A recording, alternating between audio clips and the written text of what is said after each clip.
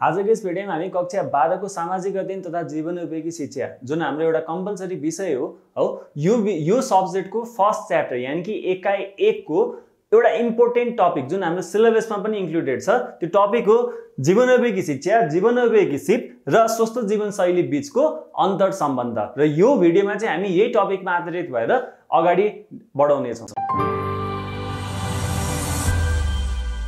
यो च्याप्टरमा सबैभन्दा पहिलो टपिक हाम्रो सिलेबसमा भएको के थियो भन्दाखेरि सामाजिक अध्ययन तथा जीवनोपयोगी शिक्षा। सामाजिक अध्ययन र जीवनोपयोगी शिक्षाको अन्तर सम्बन्ध भनेर एउटा फर्स्ट टपिक थियो। हो हाम्रो सिलेबसमा एनइबीको सिलेबसमा भएको पहिलो टपिक थियो।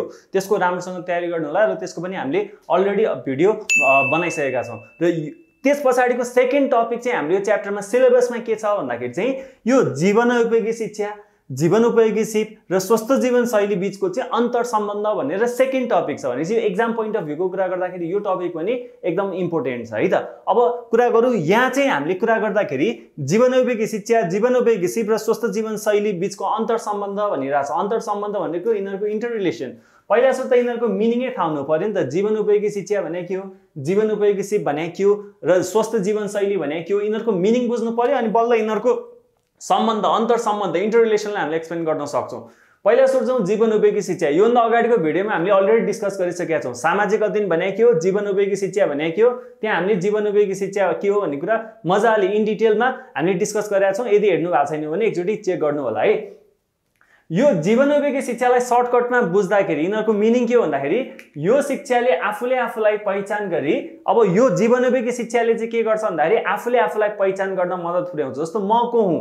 म मैले के गर्नुपर्छ भन्ने कुराहरू चाहिँ आफूले आफूलाई पहिचान गरी दैनिक जीवनयापन गर्न दैनिक जीवनयापन भनेको हाम्रो डेली लाइफ अब हामी हरेक दिन यत्तिकै खाएर सुत्ने काम मात्रै त गर्दैनौँ हो। भनेपछि दैनिक जीवनयापन गर्न समाजमा आइपर्ने समस्या समाधान गर्ने हो।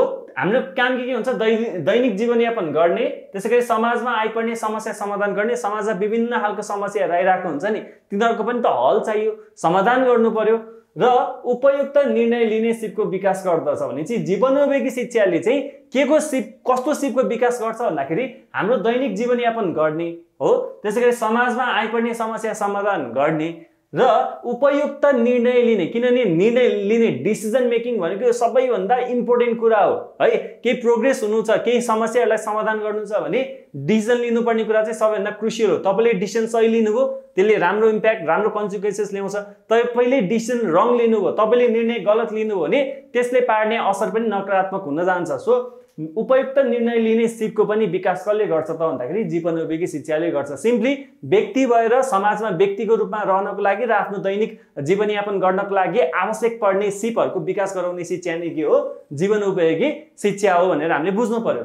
अर्को छ जीवनोपयोगी सिप। अब के बुझ्नुहोस् भने नि जीवनोपयोगी शिक्षाले नै जीवनोपयोगी सिपको हाम्रो हामी व्यक्तिहरूमा चाहिँ यसको विकास गराउँछ। जस्तो तपाईँमा कुनै सिप चाहिन्छ भने त्यो सिपको विकास त शिक्षाले गराउने हो नि त।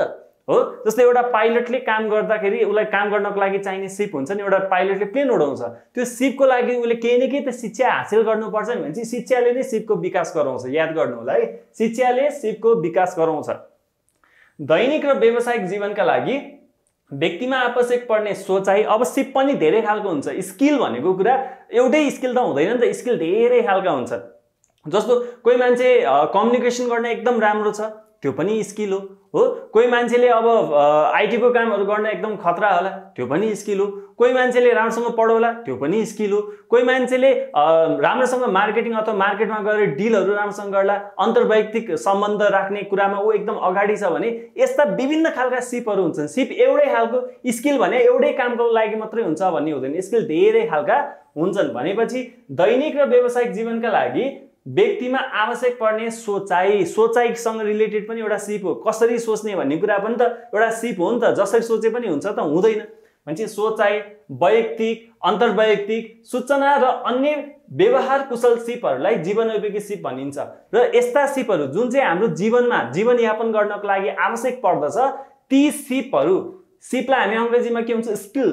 ती स्किलहरूलाई ती सिपहरूलाई चाहिँ हामी के भन्छौँ जीवनोपयोगी सिप भन्छौँ र जीवनोपयोगी सिपको विकास हामीमा कसरी हुन्छ? जीवनोपयोगी शिक्षाबाट नै हुने गर्दछ। स्वस्थ जीवनशैली। जीवनशैली जीवनयापन। होइन हामी बाँचिरहेका छौँ कसरी बाँचिरहेका छौँ? हाम्रो जीवन कसरी बितिरहेको छ? हामी बिहान उठ्छौँ बेलुका सोध्छौँ दिनचर्या हाम्रो कसरी बितिरहेको छ? हाम्रो जीवनशैली कस्तो छ भन्ने कुरा हो। र स्वस्थ जीवनशैलीले सिम्पली के बुझाउँछ? स्वस्थ भनेको अङ्ग्रेजीमा हेल्दी हो। सो हामी स्वस्थ भएर हाम्रो जीवनशैली हाम्रो जीवनयापन गरिरहेका छौँ भने यसलाई नै हामी सजिलो भाषामा जीवनशैली भन्न सक्छौँ।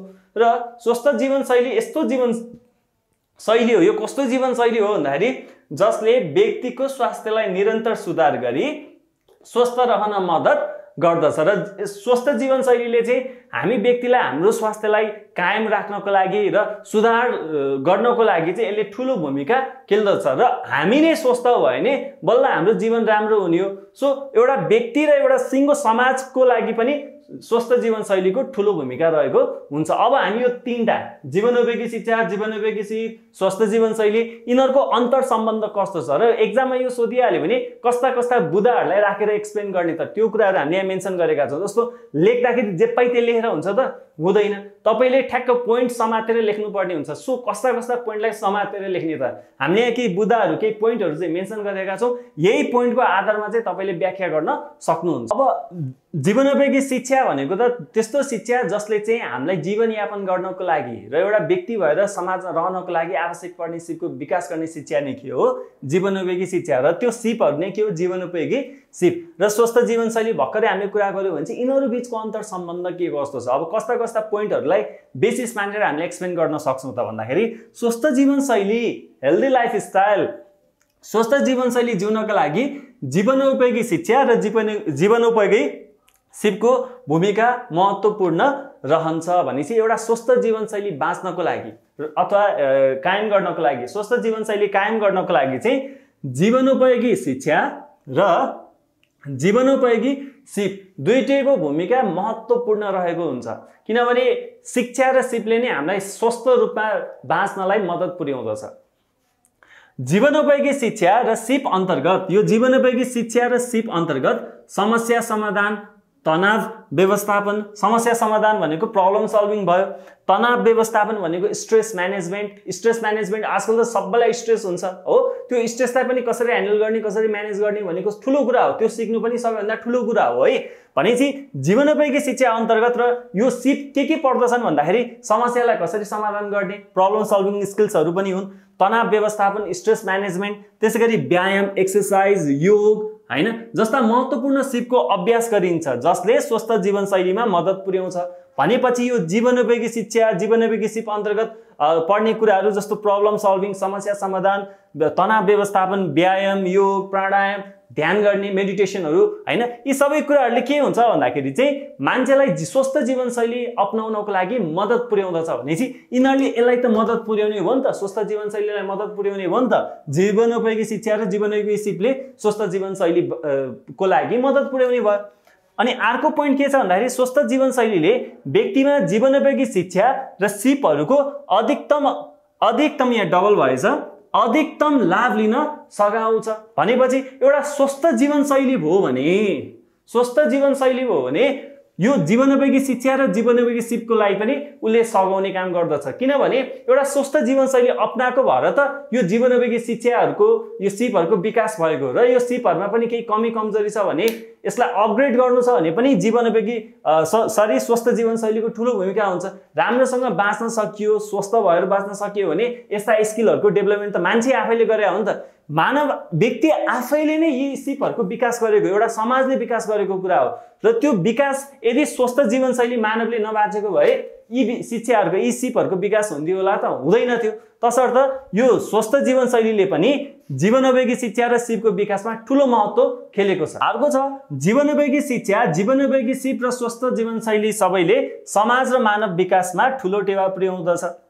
यो तिनटै कुरा जीवनोपयोगी शिक्षा जीवनोपयोगी सिप र स्वस्थ जीवन स्वस्थ जीवनशैलीले के के विकासमा समाज र मानव विकासमा समाज विकासमा र मानव विकासमा दुइटैमा ठुलो टेवा टेवा भनेको मद्दत भन्न खोजेको है। अब अर्को बुदा छ एउटा स्वस्थ व्यक्तिले मात्र जीवनोपयोगी सिप सिक्न र व्यवहारमा लागू गर्न सक्दछ। अब हामीले के बुझ्नुपर्छ भने नि एउटा स्वस्थ जीवनशैली अप्नाएको व्यक्तिले मात्रै जीवनोपयोगी शिक्षा र सिपलाई सिकेर र त्यसलाई व्यवहारमा पनि लागू गर्न सक्छ रियल लाइफमा पनि इम्प्लिमेन्ट गर्न सक्छ। तर एउटा अस्वस्थ जीवनशैली अप्नाएको व्यक्तिले जीवन जीवनोपयोगी शिक्षा र सिपलाई त्यसलाई बुझेर त्यसलाई सिकेर जीवन त्यो व्यवहार जीवनमा व्यवहारिक जीवनमा पनि लागू गर्न चाहिँ उसलाई प्रब्लम हुन्छ भने चाहिँ स्वस्थ जीवनशैली पनि आवश्यक रहेछ नि त। जीवनोपयोगी शिक्षा लिन र त्यसलाई त्यो सिपलाई लिन र त्यसलाई व्यवहारमा लागू गर्न कार्यान्वयन गर्न पनि स्वस्थ जीवनशैलीको आवश्यकता पर्दो रहेछ। अब अर्को जाउँ जीवनोपयोगी शिक्षाले व्यक्तिलाई जीवनोपयोगी सिपको प्रयोग गर्न र स्वस्थ जीवनशैली अप्नाउन सहयोग गर्दछ। अब जीवनोपयोगी शिक्षाले नै व्यक्तिलाई जीवनोपयोगी सिपको प्रयोग कसरी गर्ने र स्वस्थ जीवनशैली कसरी अप्नाउने भन्ने कुराको लागि चाहिँ जीवनोपयोगी शिक्षाले ठुलो महत्त्व खेलेको हुन्छ। त्यसै गरी अर्को छ जीवनोपयोगी शिक्षा जीवनोपयोगी सिप जीवनोपयोगी शिक्षा जीवनोपयोगी सिपमा आधारित हुन्छ। अब जस्तो जीवनोपयोगी शिक्षाले जीवनोपयोगी सिप हासिल गर्नको लागि मद्दत पुर्याएको हुन्छ। एजुकेसनले स्किल लिनको लागि मद्दत पुर्याएको हुन्छ भन्न खोजेको। त्यस्तै यो जीवनोपयोगी शिक्षा छ नि यो के को बेसिसमा तयार पारेको हुन्छ? भन्दाखेरि जीवनोपयोगी सिपको बेसिस त्यो स्किलको बेसिसमा त्यो एजुकेसन तयार पारिएको हुन्छ है। भनेपछि हामीलाई के के आवश्यक पर्छ त सिपहरू? त्यो सिपहरूको बेसिसमा चाहिँ त्यो शिक्षा तयार पारिएको हुन्छ है। सो जीवनोपयोगी सिप र जीवनोपयोगी शिक्षाको पनि रिलेसन हामीले त्यहाँबाट देखाउन सक्छौँ। अनि त्यसै गरी जीवनोपयोगी शिक्षा जीवनोपयोगी सिपमा आधारित हुन्छ। स्वस्थ जीवनशैलीले मात्र जीवनोपयोगी शिक्षा र सिपको विकासमा मद्दत पुर्याउँदछ र स्वस्थ जीवनशैली यदि कसले अप्नाएको छ भने बल्ल त्यहाँबाट मात्रै यो जीवनोपयोगी शिक्षा र सिपको विकासमा मद्दत पुर्याउँछ। है जस्तो आजभन्दा तिन चार सय वर्ष अगाडि जीवनोपयोगी सिपहरू के के थियो होला? र आजको मितिमा जीवनोपयोगी सिप के एउटै हो त? होइन नि त। त्यो जीवनोपयोगी सिपमा पनि अपग्रेड त गर्नु पऱ्यो नि। आज हामीले जे जे कुरा सिकिरहे सिकिरहेका छौँ ती सिपहरू आज हामीलाई जे जे आवश्यक परेको सिपहरू छ अबको दुई सय वर्ष पछाडि तिन सय वर्ष पछाडि पनि त्यही सिप नै चाहिन्छ भन्ने हुन्छ त। सबै कुरा त्यही सिपले नै काम गर्छ भन्ने छैन। त्यसमा केही मोडिफिकेसन र केही अपग्रेड पनि गर्नुपर्ने हुन्छ। अब अन्तिममा है माथि उल्लेखित बुदाहरूबाट जीवनोपयोगी शिक्षा जीवनोपयोगी सिप र स्वस्थ जीवनशैली बिचको अन्तर सम्बन्ध स्पष्ट पार्न सकिन्छ भनेर हामीले भन्न सकेका छौँ। र तपाईँले आफ्नो इक्जाममा लेख्दाखेरि यी पोइन्टहरूको बेसिसमा यी पोइन्टहरू चाहिँ राम्रोसँग प्र्याक्टिस पनि गर्नु होला याद पनि गर्नु होला। होइन पढ्ने मात्रै भन्दा लेखेरै गर्नु के? जति लेखेर गर्न सकिन्छ त्यति हाम्रो माइन्डले मेमोराइज गर्न सक्छ। भने चाहिँ यी पोइन्टहरूको बेसिसमा तपाईँले यो टपिकलाई एक्सप्लेन गर्न सक्नुहुन्छ। पहिला सुरु त बुझ्नु पऱ्यो जीवनोपयोगी शिक्षा भने के हो? यस्तो शिक्षा जसले जीवनोपयोगी सिपहरूको विकास गराउँछ। र जीवनोपयोगी सिप भने के भन्दाखेरि यस्तो सिपहरू जुन चाहिँ एउटा व्यक्तिले द आफ्नो दैनिक जीवन र आफ्नो व्यावसायिक जीवनको लागि आवश्यक पर्ने सिपहरू जे जे छ ती सिपहरूलाई नै हामी जीवनोपयोगी सिप भन्न सक्छौँ। र स्वस्थ जीवनशैली स्वस्थ भनेको हेल्दी होइन? जीवनशैली त हामी बुझिहाल्छौँ। अघि हामीले यहाँ पनि एक्सप्लेन गरेका थियौँ भने चाहिँ यी कुराहरूको मिनिङ बुझेर यिनीहरूलाई चाहिँ हामीले यिनीहरूको रिलेसनलाई चाहिँ एक्सप्लेन गर्नुपर्ने हुन्छ। सो जताभावी चाहिँ लेख्नु भएन। यी बुदाहरूलाई तपाईँले याद गरेर कपीमा लेख्न सक्नुहुन्छ र क्वेसनको एन्सर पनि लेख्न सक्नुहुन्छ।